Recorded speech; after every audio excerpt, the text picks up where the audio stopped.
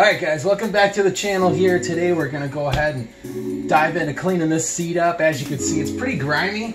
It just happens over time. I mean, you know, whether or not it's uh, from sitting outside or just getting in and off, just getting on and off the seat as you're, you know, going for rides, you bump into stuff inevitably or clothes are sitting wherever and it rubs off. It's just, you know, it's just how it is. If you don't keep it clean, it's just to get dirtier and dirtier. So today we're to go ahead and just get all this grime off and then condition it up a little bit and get it ready for the season. All right, so just a couple things here. I have a nice clean bucket of soapy water, a uh, little spongy here, and then a green scrubby. Uh, you can get these at uh, your auto parts store. They're not, they don't have a lot of grit to them. They're actually coarse, but they're not real they don't have a lot of scuffing power to them, but they do good as a scrubby. Um, you know, it's not something you're to put, a, you know, you're to do any damage to your seat cover with. So I use that, and then uh, just some paper towels to wipe everything down once you're done. And um, I also have a little bit of super clean foaming. It dissolves grease super easy, super fast. This is a spray. It's a biodegradable detergent. Um, this is stuff I've been trying out recently, so I'm to go ahead and use this and see how it does. I also have this. This is Armor All. Uh, usually I use Aerospace 303, um, but this is all that I had on hand at this point. Um, it's obviously leather care. Something you can put on vinyl and it protects against fading, aging, and cracking as well. As well. All right, so let's get started. Just go ahead and spray it down.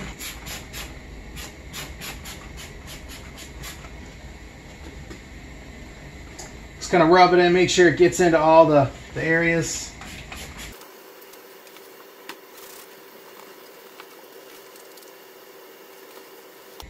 All right, so now that we've let it sit for a couple minutes, we're gonna go ahead and just scrub it down real good.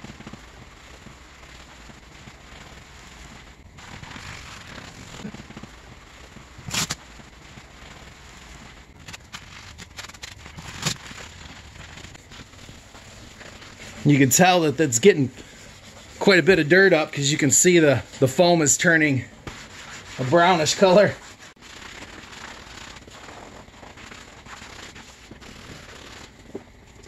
All right, now the next step is to just go ahead and get your sponge, get the soapy water on there, and then just go ahead and proceed to wipe it down.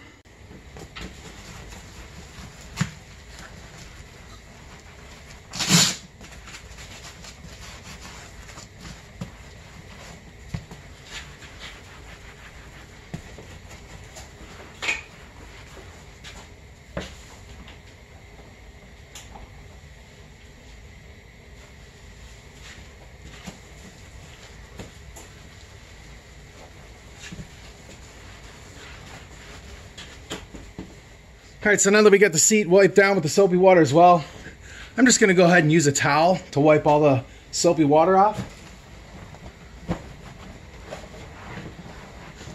Wow, it's looking really bright already.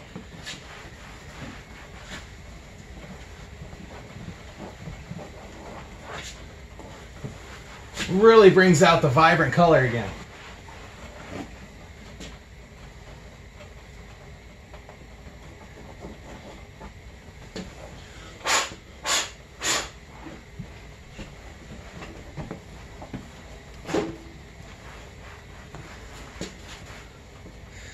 You might have to go over some spots and touch them up.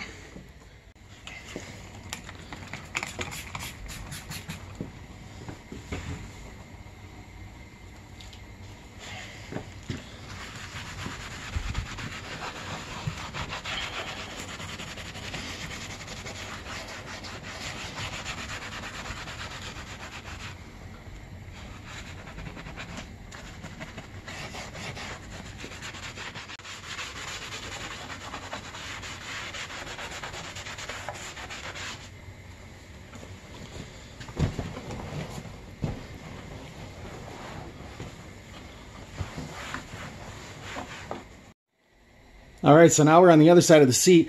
I want to point out that you can see where some of that soap is dripped down and just the super clean degreaser itself has left its mark on this seat. I think that's pretty good testament to how well this stuff cleans up. So we're going to go ahead and tackle the rest of this, get it clean, and then we'll go ahead and apply some conditioner to the rest of the seat.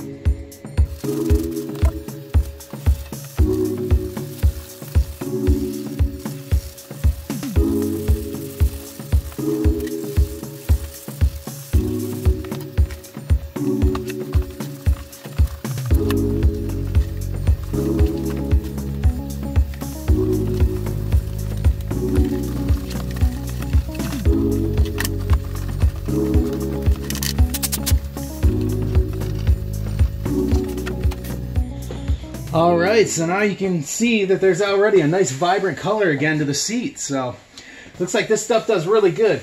But you got to remember, you don't want to leave it like this. You, may you want to make sure that you get some type of conditioner and protector on it. And that's what we're going to go and head do next.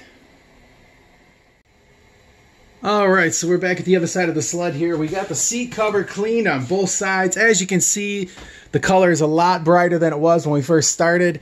Um, there's a brighter overall color to the cover itself.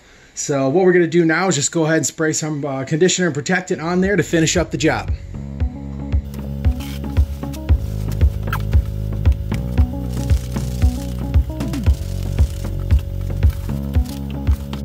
Don't be afraid to be liberal around the seams as well.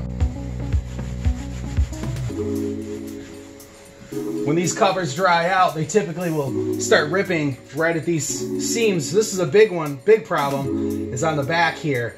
These just dry out, they get a lot of pressure, and because of the material not being conditioned well enough, it doesn't stretch anymore, and then it eventually just rips right through those stitches.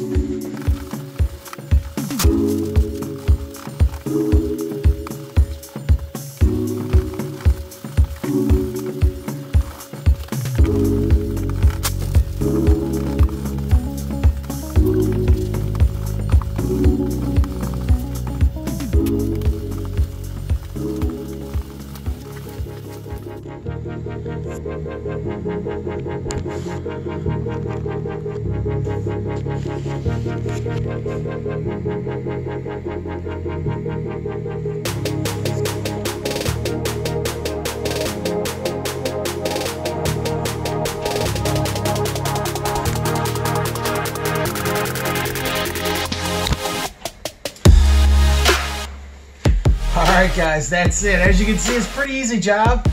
Takes maybe 10-15 minutes to do, and this will help your seat cover on your snowmobile to look great, but also last for a long time. So, if you guys aren't subscribed to the channel, please subscribe. Hit the alert bell so you're notified of future updates. Drop in and say hello. If you guys have any questions, let me know. I'm always around to answer. Love the conversation. If you guys know anybody else that likes this type of content, please feel free to share in social networking with family and friends. Also, just want to know what type of products you guys use on your seat covers to clean and condition them, so go ahead and leave that down in the comments. So we'll see you guys in the next video. Take care, come on back, God bless.